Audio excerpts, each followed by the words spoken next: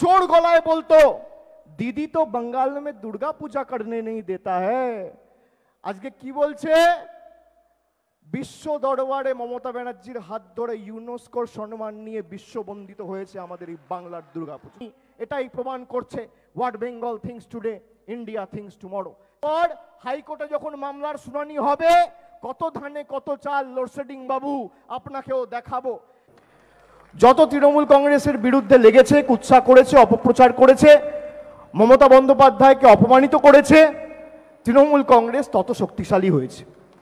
এবং আমি আমার কর্মী ভাইদের অনুরোধ করব যে আজকে মমতা বন্দ্যোপাধ্যায় যে বক্তব্য রাখবেন, তার কথা আমরা স্মরণ করব এবং বাস্তবে নিজের বুথে গিয়ে রূপায়ণ করব। আপনারা দেখেছেন বাংলায় গোহারা হেরে দু হাজার একুশ সালে পরের দিন চারজন মন্ত্রীকে সিবিআই ইডি লাগিয়ে অ্যারেস্ট করেছে। তারপরে পশ্চিমবঙ্গ সরকারের মুখ্য সচিবকে দিল্লিতে অ্যাটাচ করে দিয়েছে যাতে মমতা বন্দ্যোপাধ্যায়ের হাত দুর্বল হয়ে যায় এবং রাজ্য সরকারের উন্নয়নমূলক কাজে কোনো রকমভাবে বাধাপ্রাপ্ত ঘটানো যায়। যারা এইভাবে বাংলাকে লাঞ্ছিত, বঞ্চিত, নিপীড়িত, অপমানিত, শোষিত করছে প্রতি পদে আগামী পঞ্চায়েত এবং লোকসভা ভোট, তাদেরকে যোগ্য জবাব দেওয়ার লড়াই। আমরা বদল আমরা বদল এনেছি। কিন্তু বদলাটা আমরা নেব ব্যালটের মাধ্যমে দু হাজার তেইশের পঞ্চায়েত আর চব্বিশের লোকসভায়। বিয়াল্লিশটা লোকসভা আসন রয়েছে। চোখে চোখ রেখে আমরা শেষ রক্তবিন্দু পর্যন্ত এই লড়াই লড়ব। ভারতবর্ষে সতেরোশোটা রাজনৈতিক দল আছে। একমাত্র রাজনৈতিক দল যে ইডি, সিবিআই কারোর তোয়াক্কা না করে মাথা উঁচু করে লড়াই করছে সে মমতা বন্দ্যোপাধ্যায়, তৃণমূল কংগ্রেস আর বিজেপিকে প্রতিনিয়ত নির্বাচনের পর নির্বাচন ল্যাজে গোবরে করেছে।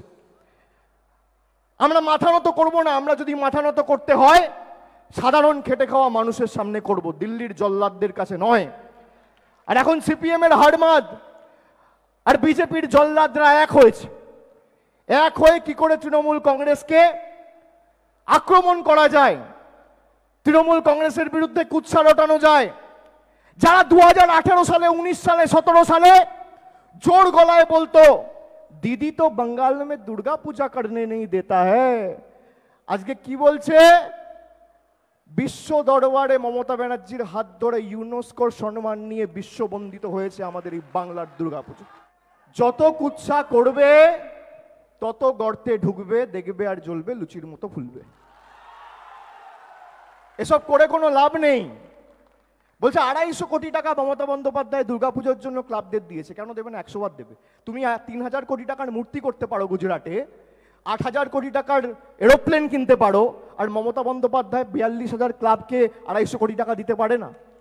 দুর্গাপুজো বাঙালির গর্ব, বাংলার গর্ব, কলকাতার গর্ব, আলিপুরদুয়ারের গর্ব, মেদিনীপুরের গর্ব দুর্গাপুজো নদিয়ার গর্ব, বর্ধমানের গর্ব, হুগলির গর্ব, হাওড়ার গর্ব পুরুলিয়ার গর্ব, বাঁকুড়ার গর্ব।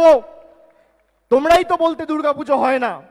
যারা নিজেদেরকে হিন্দু ধর্মের ধারক আর বাহক বলে দাবি করে, আজকে দেখুন তাদের বাড়া ভাতে ছাই দিয়ে দিদির হাত ধরে আমাদের দুর্গাপুজো বিশ্ব দরবারে বিশ্ববন্দিত আর আমরা যা বলেছি, আমরা করেছি। মমতা বন্দ্যোপাধ্যায় দু হাজার একুশের নির্বাচনের আগে বলেছিল, এক কোটি ষাট লক্ষ পরিবারের গৃহকর্তীকে আমি লক্ষ্মীর ভাণ্ডার দেবো। একটা পরিবারের একজনকে দেবো বলেছিল। নির্বাচনের তিন মাসের মধ্যে যত মহিলা আছে সবাইকে লক্ষ্মীর ভাণ্ডার দিয়েছে। আর বিজেপি কি বলছে? বাংলার মানুষকে অপমান করছে। বলছে কি? এরা পাঁচশো টাকায় বিক্রি হয়ে গেছে। দিলীপ ঘোষ বলছে কি?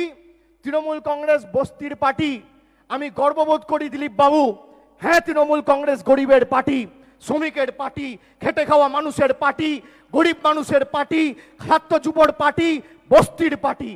আপনি তৃণমূল কংগ্রেসকে বস্তির পার্টি বলে অভিহিত করায় আমরা সম্মানিত বোধ করি, আমরা গৌরব বোধ করি, আমরা গৌরবের গৌরবান্বিত বোধ করি। তার কারণ এই বস্তির কাছেই আপনাদের বহিরাগতদের মাথা নিচু করে হার স্বীকার করতে হয়েছিল দু হাজার একুশ সালে। আবার তৈরি থাকুন দু হাজার তেইশ আর দু হাজার চব্বিশ শুধু আপনি দেখেছেন, এই পার্টিতে কোনো লবি নেই।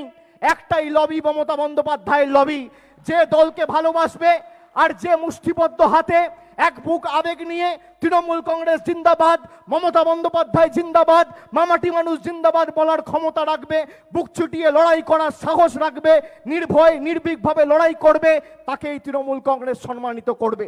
সেই ব্লকে থাকবে, সেই অঞ্চলে থাকবে, আর আগামী দিন দায়িত্ব নিয়ে বলছি, নেত্রীও বলেছে, ভোট শান্তিপূর্ণ অবাধ হবে, আমাদের গণতান্ত্রিকভাবে লড়াই করে বিজেপিকে লেজে গোবরে করে বাংলা ছাড়া করতে হবে।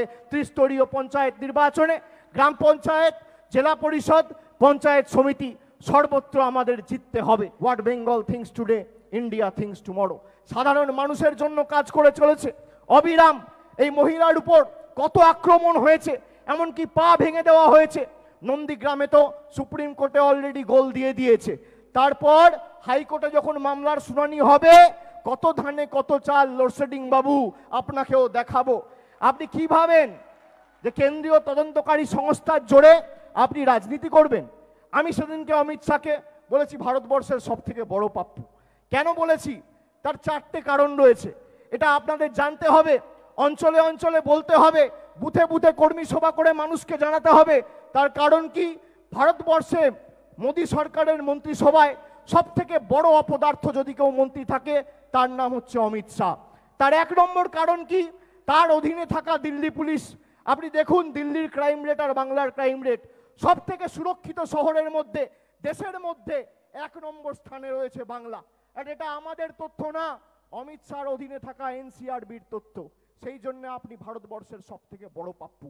তার কারণ আপনার অধীনে থাকা সংস্থা বলছে, দেশের মধ্যে সব থেকে নিরাপদ শহরের নাম কলকাতা, তিলোত্তমা তিলোত্তম কলকাতা। এই জন্য ভারতবর্ষের সব থেকে বড় পাপ্পু আপনি।